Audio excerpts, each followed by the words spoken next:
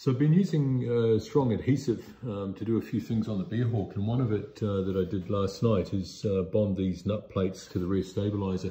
It's on the inside rib and that's uh, to fix the uh, trim strip to once it uh, is finally assembled.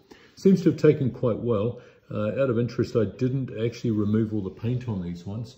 I did scuff it up, I sanded it back a wee bit, cleaned it, degreased it, and it, it appears to have uh, taken pretty well. So it'll need another five days uh, to fully cure there.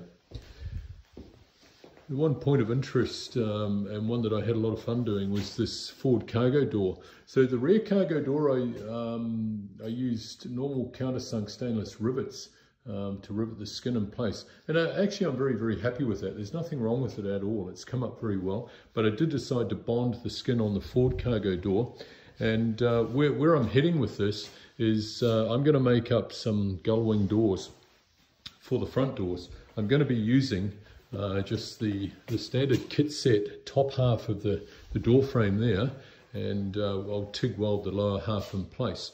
Once that's done, um, my intention is to then bond the Lexan to the frame. So here's the forward cargo door got a really good seal. I'm really happy with that long forward edge. That's probably the most critical part of the door there, and particularly uh, the bond onto the, the round tube just inside that. The rear tube is square, you get a much better surface. I did take all the paint off those before I bonded them. I, I then degreased and cleaned them thoroughly. Put a little latch on here, a little grab latch and that's that's bonded in place too. So in my mind, that's a bit of a canary in the coal mine. Uh, that one will will undergo a lot of use, and uh, if anything is going to let go, probably I think that will let go first. It does appear to be very strong. Um, you can't really see it that well, but that that is the uh, the adhesive just there.